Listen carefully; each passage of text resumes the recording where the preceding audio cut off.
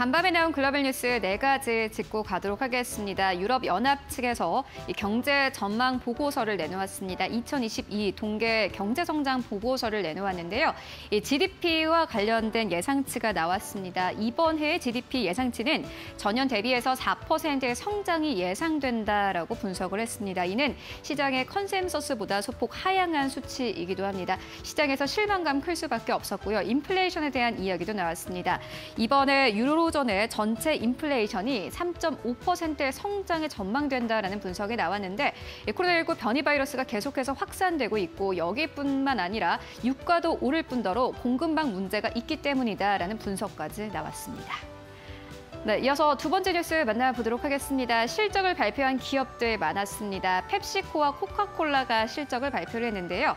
이 두 기업 모두 다 아주 좋은 실적을 내놓았습니다. 이 시장의 컨센서스를 상회하는 실적을 내놓았는데 특히나 코카콜라의 실적이 좋았습니다. EPS와 매출 모두 다 시장의 컨센서스를 상회했고 EPS의 경우에는 45센트 그리고 매출은 95억 달러로 집계가 됐습니다. 하지만 부정적인 이야기가 나왔습니다. 인플레이션 등의 영향으로 인해서 아마 하반기까지 내년까지 좀 실적에 영향이 있을 것이다라는 분석이 나왔는데요.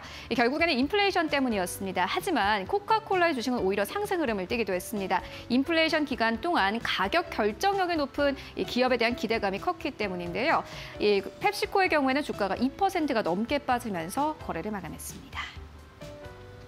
네, 세 번째 뉴스 만나보도록 하겠습니다. 이렇게 증시가 전반적으로 좀 빠졌지만 그래도 리오프닝주 같은 경우에는 시장의 하락세에 비해서 큰 폭의 하락으로 거래를 마감하진 않았습니다. 특히나 로열 캐리비안의 경우에는요. 간밤에 다시 한번 투자 의견이 상향 조정되기도 했습니다.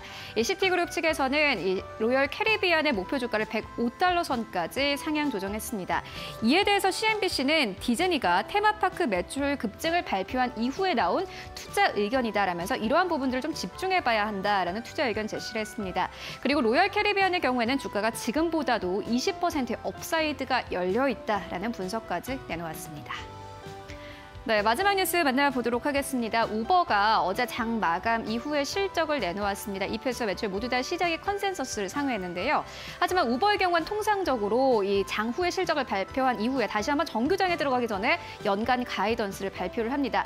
연간 가이던스를 발표를 했는데 시장의 예상치보다 하회했습니다.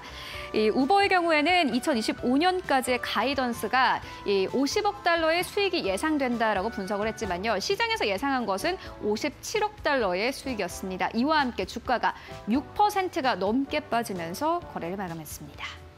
네, 지금까지 네 가지 뉴스 살펴보고 왔습니다.